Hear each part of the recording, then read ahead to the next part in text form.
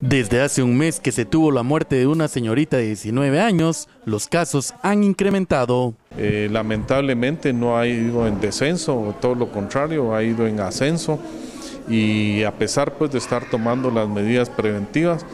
eh, nosotros eh, estamos muy alarmados y preocupados y esperamos pues que vaya a ir en descenso si tomamos si tenemos toda la colaboración de la población por supuesto en no ingerir alimentos de dudosa procedencia higiénica. Con respecto al número de casos y muertes, manifestaron lo siguiente. Siendo un total de 133 y lamentablemente ya con, eh, con el caudo de ya de cinco muertes en este, en este departamento por la causa de la fiebre tifoidea. También nosotros nos hemos sumado a una lucha para poder eh, prevenir eh, desde, el, desde el tema de, de la obligación que tienen todas las personas de cuidarse a sí mismas. En esta época se realiza la mayoría de ferias en el departamento, entre otras actividades, por lo que ambos entrevistados coincidieron que debe existir estrictas medidas y control por parte de cada organización y se van a extremar las medidas higiénicas en el campo de la feria